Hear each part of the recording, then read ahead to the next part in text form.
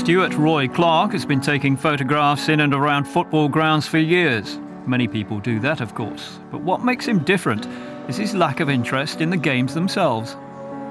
His photographs concentrate on the passion of the fans, the sculpture of the stadia, and the moments that might seem at first glance to be insignificant. I think why photography is so special to me is that I can just capture things and uh, kind of know that they can last forever.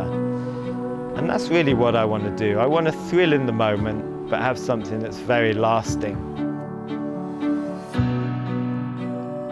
I'm a bit of an onlooker. You know, I, I, I, do get involved, but I'm very good at watching things, anticipating what's going to happen next, framing it in a very special way, and that's, you know, there's your picture. Um, there's a kind of shrewdness about these eyes, but there's an empathy in my heart. I think that's really the key things about a photographer, is they're very sharp and cool, but in here they, they love, and they love, they love. And it's that combination of sort of sharp and soft that makes me a photographer anyway.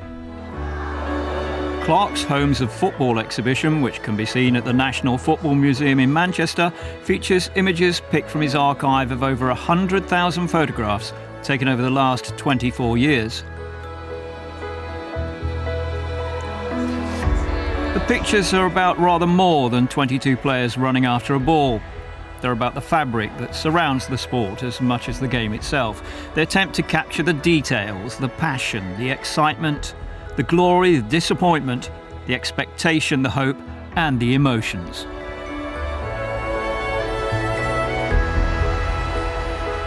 So what's it all about? You know, why am I doing this? Mostly I'm telling a story over a longer period of time. When you turn the pages, you might start, ah, oh, I see, you know, realizing why things have been put together. And um, I've faced challenges. I mean, in the early 90s, uh, before Beckham and before Euro 96 and football's coming home, particularly, the art galleries and museums that I craved to show this work in didn't want to know. You know, they were snobs, basically. There's no other word for it. They said, it's not for art galleries, it's for the back pages of newspapers. I said, no, it's not. So I had battle after battle, and I probably still will again. The exhibition toured between 1991 and 2005 before finding a permanent home at the National Football Museum last year.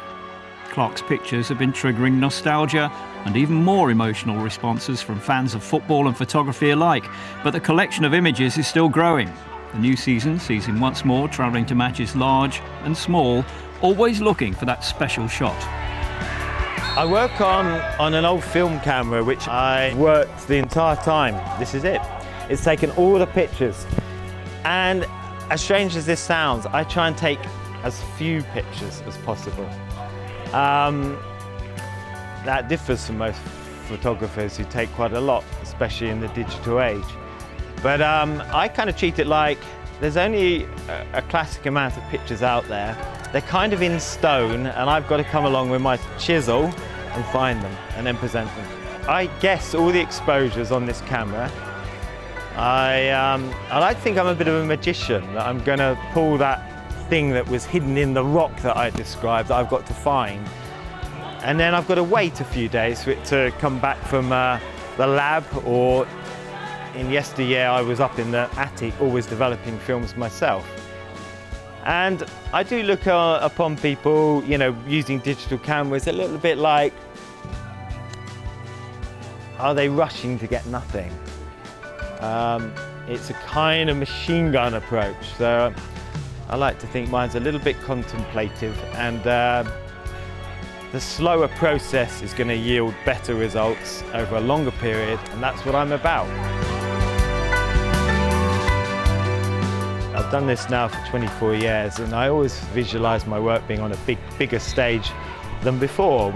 So I'm still on the lookout for other opportunities and that probably comes next year with Brazil and the World Cup. I think for years I would have I've dreamed, if you like, that you know the World Cup would be in such a place like Brazil and that it would be my absolute um, time, you know, it would be the time when I could do everything I wanted and uh, get a huge audience.